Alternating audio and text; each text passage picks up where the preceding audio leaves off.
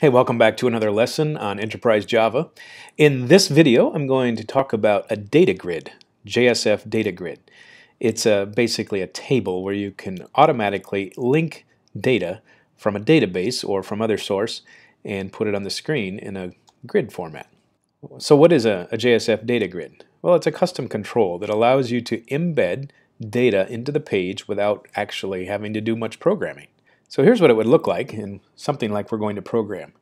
So we're going to create a, an H colon data table tag and uh, probably leave out the CSS tags for right now, but we'll get into columns and rows and uh, you'll have the data implemented right into those. So CSS styles are optional, but they'll make the table more readable. The important part of the uh, components is that your data grid is automatically linked or bound to your model. So for instance, if we have a user object and you want the first and last name, or if you have a list of products and prices, this will easily link up with the columns in your table. Now before we get to the coding of the table, let's talk about some of the other components that you might come across using Enterprise Java. You can see in the bottom half of this that there are things like buttons and CAPTCHA logins and calendars and picture carousels and charts and so before you start inventing your own charts or maps or menus, there's probably a predefined control that somebody has built and you can just implement.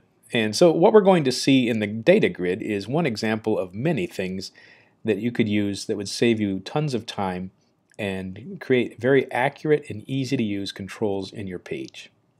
All right, so let's get into the coding part of this grid form. Now I'm going to show you the final product here. So this is the uh, current process we have now. We have a login screen. And then the second page that we're going to show is unrelated to the login screen, but it does show that we're going to show some products. We're going to show a grid. And so we'll have products 1 through 9 or 0 through 9 and some data to go with it. So the data that's going to be filled into this grid normally would come from a database. Uh, we're not going to quite get to the database section of this tutorial yet. And so we're going to create a list of data as if it were coming from a database, but uh, we'll have to kind of spoof it just using some plain text. So you can see I'm starting on a new project here. This is a copy of the previous that we were working on. I've named mine assignment 2 hyphen grid. Now the first thing we're going to do is we're going to create a few more beans. The first one we're going to create is a class for the thing called an order. And uh, the order is going to be one of the rows that we would find in our database or in our grid. So this is a pretty standard kind of a class. Let's uh, create a few properties like order number and then uh, we'll have maybe a product name. Okay, so those are some of the properties that you saw in the table on the previous screen. Remember, a constructor is what is called when we instantiate a new object. And so this is just a function that will take a bunch of parameters and then it will assign them actual instances.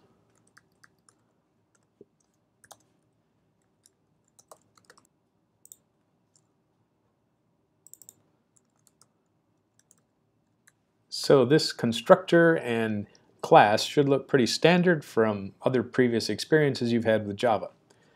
Let's now create some setters and getters for each of our uh, properties.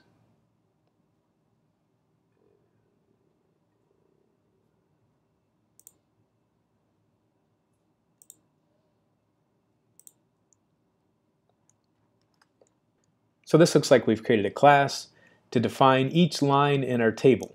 So each line is an order. Now I'm going to create another class called orders, which will basically manage a list of these order objects.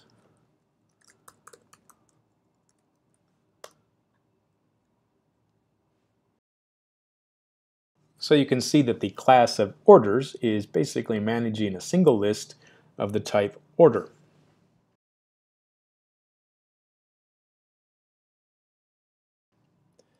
Now in the constructor here, we're just going to generate some data strictly from text files or text items, not from a database. We'll include the database part of our tutorial later on.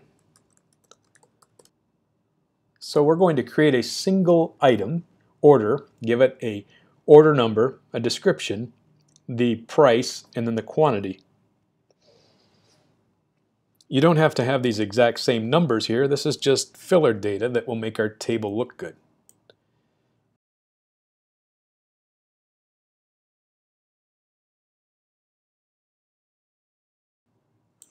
So let's copy and paste this a few times and we'll have as many rows in our table as we create here in the constructor of the orders object.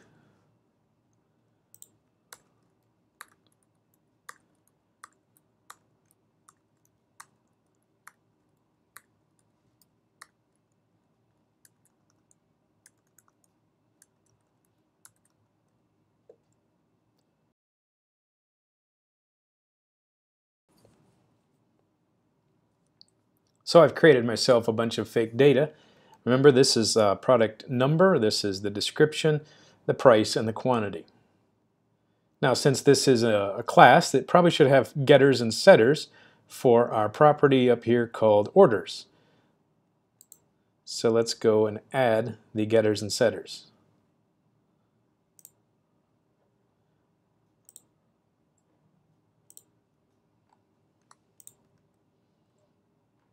Okay, I'm going to save that. So we have an object called order, and then we have a list called orders.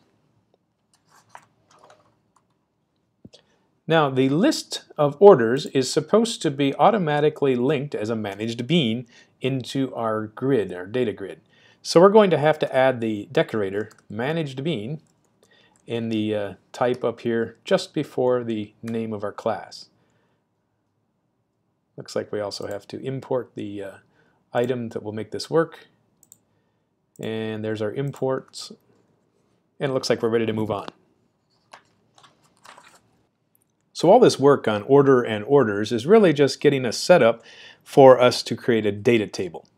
So our data table is going to be shown in the response page. So in the response page, let's add some new items here after the um, login information is given and we'll start creating our orders and our list of uh, items in the table. So let's begin with typing an H colon and looking for something called a data table. So is it in there? There is a data table. And let's read the description. It says it renders an HTML table compliant with a whatever specification and uh, you can use some styles. So let's see how that works. So the data table is going to be having the uh, open and the closing tags. However, as with JSF and other instances, we have seen that we can automatically link our values, like for input forms, or in this case, the values for our table is coming from objects that are managed beans. So we have orders, and we are going to come up with a period and the property orders. So the name of the class and its property orders are bothly the same thing. Now the next item we need is something called a variable.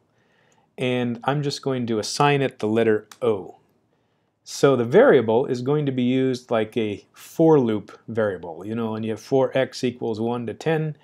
The counter variable is the letter O in our case here. So now in our table, each item that we call next is going to be called a column.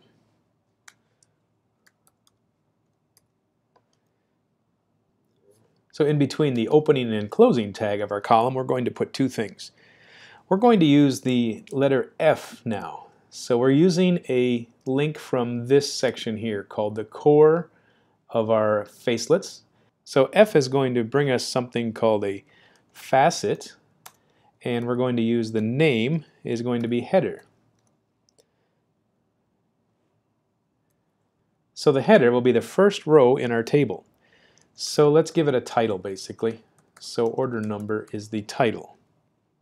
So after the header of the table, we want to be able to put in the each row which is a, a data point. So let's put in a pound or curly bracket pound sign and select the object O. O is the, remember this is the variable which is the loop counter. So after O, let's try a period, and we should get some options here. So we have the four different properties of each order. So let's start with order number. So that's our example. We should be able to copy and paste this a few more times and just change a few pieces of data. So for each column in our grid, we're going to use a similar process. So instead of order number, the next one is called the, uh, I think we called it the product name. And let's delete this and change O dot, let's try product name. The next thing is going to be the price. And so let's choose O dot price, hopefully. There it is. And I think then we had quantity. So is that going to be our last? I think it is. So we're only going to have order number, name, price, and quantity. So I've created one extra column that we don't need. I'm going to clean up some indenting and then we should be able to run this and automatically get the data from our objects that are managed beans and put them into our table. So let's start from the beginning here, the login form, and we'll choose run.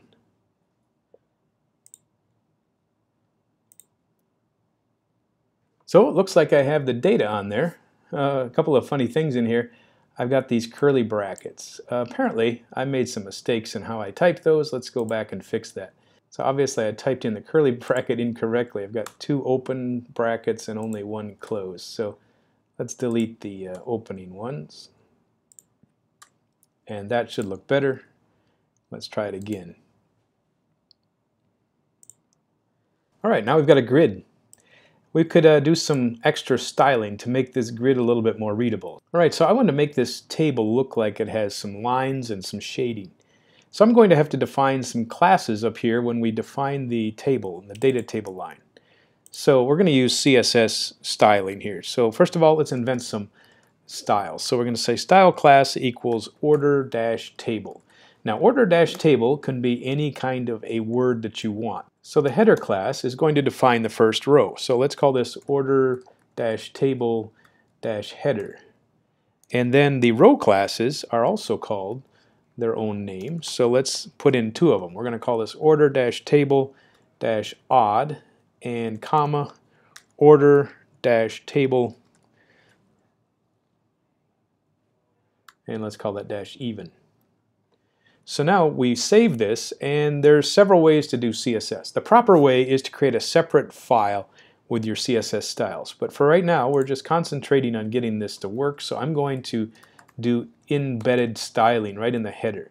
So the style tag open and close. Now the next thing I want to do is start defining these things. So I have a class named order-table. So we could just put that in here as dot order-table and do some bra brackets. Oops, be careful you don't. So we have an open and close bracket. Now what are we going to do for our style? So let's call this thing a border and let's say one pixel black solid. Let's see if that works. Save it and let's rerun the page.